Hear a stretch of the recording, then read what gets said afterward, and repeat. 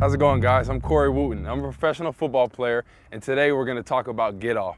Get off is one of the keys to being a defensive lineman. Getting off the ball is everything you need. Is being able to beat those big uglies, as they quote unquote call them, in front of you, around the edge, in the backfield, causing havoc, causing chaos, whatever you want to call it.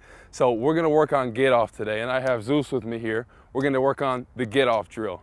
So I'm going to start out here. I'm, I'm going to be the guy moving the ball, and Zeus is going to get in. We're going to work on the run get off. We're going to be in a balanced stance. See how his feet are pretty balanced right there. He's going to put his hand down. He's going to look at me. As soon as I move this ball, he's going to get off in a short six inch step to be able to play the run. Ready?